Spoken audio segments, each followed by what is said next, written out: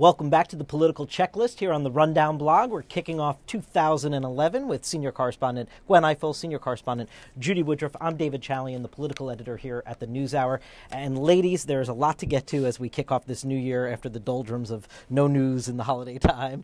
Uh, we are back with a vengeance here. Uh, the new Congress, obviously, coming to town uh, this week, will convene on Wednesday, Republican majority in the House the White House seemed quite clear uh, to sort of launch a battle with the Republicans over the weekend when we saw Austin Goolsbee, the White House economic advisor, uh, bring up this issue of raising the debt limit, which is a vote that is going to come real fast here in Congress. A- and he basically laid down the gauntlet and challenged Republicans not to play political games with that. Judy, is this going to be a, a pitched battle? Are we in danger of possibly, as a country, actually not raising the debt limit and, and defaulting? Well, it's absolutely going to be a pitched battle between Republicans and Democrats, the White House, Democrats in the majority. It's also going to be a pitched battle among Republicans because the, the new members of Congress, the 80 some odd number, 85 or more Republicans who are new in the House, many of them have sworn to cut back on spending. So, for one of their first major votes to be to raise the spending level goes against the grain of everything they've told their constituents. And yet, the majority in the Republican Party knows that you have to raise the debt spending limit, as Austin Goolsbee said, or the government uh, could be in a, in a crisis. That leadership, the majority, the new majority leadership, Speaker Boehner, in a in a interview with the New Yorker a couple weeks ago, Gwen even said we have to act like adults uh, on certain things here, but that gets to the challenge that Judy's pointed to of he really has to manage a very disparate conference. My first thought was why is the White House picking a fight on something as obscure to the American people as the debt set, debt ceiling limit? It seemed really weird. And then I thought about it and I realized this is a fight they want to have.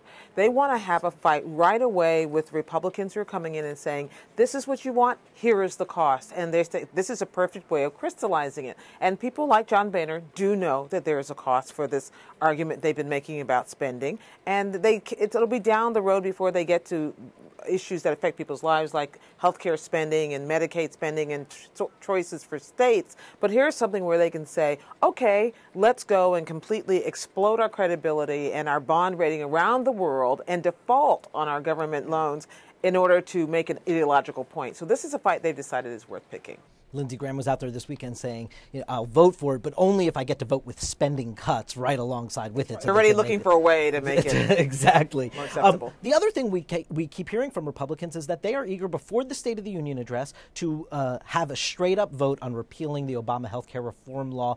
Well, we know that's not going anywhere because he still has the veto pen, right? But but Judy, is this a battle? I guess my question is that the Obama White House wants to have again. They battled health care for the better part of a year. Is this really a message battle they want to have again? And every, virtually every Democrat out there running for reelection who had voted for health care didn't want to talk about it because in, in virtually no place in the country was health care a popular subject. No, it's not a battle, but it's one they're going to have to have. And they're bracing themselves. They've already been rolling out the arguments. They're trying to point to those few pieces of health care reform that have already kicked in. Uh, grown children up to the age of 26 can stay under their parents' coverage and so forth. But, but again, Republicans were campaigning against this, and so they are sworn to let their constituents see them talking about it. So we are, we're going to hear them. So let the Republicans have the vote or fight it out if you're the White House. Here's the key for both parties. They, they, they both want to get the upper hand. They know that the uh, State of the Union is when the president gets to say, I command the stage. And so they're trying to beat him to the punch by commanding the stage on something that speaks to the issues which got them elected. This is the fight, the debt ceiling is the fight the, the White House wants to have, and this is the fight the Republicans want to have. And they're going to duke it out and see who gets to control the stage, knowing that in the end, especially if you wait till the State of the Union, the president gets the stage that night before uh, Speaker Boehner grabs that gavel on Wednesday this week. Today, we have the Republican National Committee trying to sort out their future because it looks like Michael Steele is not going to have the not support, the not the future. Yet he was, he oversaw a two-year period where they had huge electoral gains. Gwen, what is the battle for the chairman of the party going into the president's reelect year? The single goal is to make sure Obama doesn't have a second term.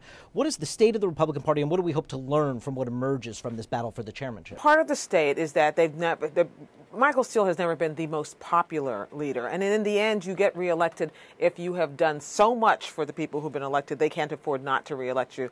The party is in debt even though they won, it's, it's a fight that's separate from who's elected and who's electable. It's a fight for controlling the levers.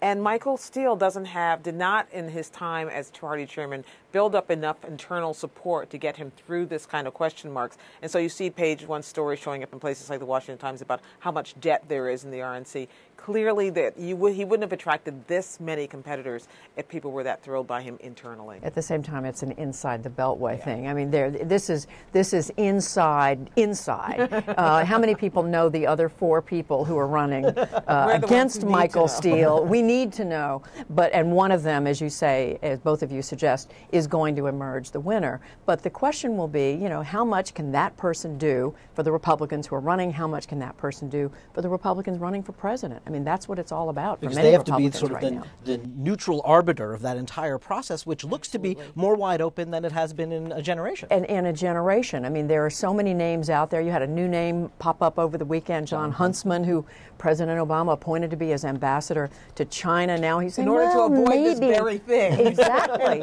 exactly. So it's wide open, and and this Republican chairman will have something to say about that. Excellent, Judy Woodruff, Gwen Ifill. Thank you very much Happy for kicking New Year, off the David. new year. Happy New Year to you guys. We'll be back right here next week with another version of the political checklist.